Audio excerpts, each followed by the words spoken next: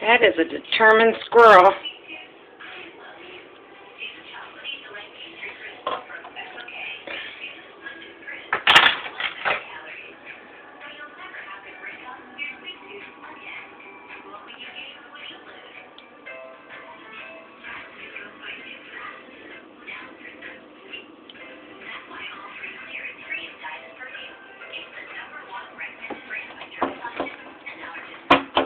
He is a determined little guy. Hello.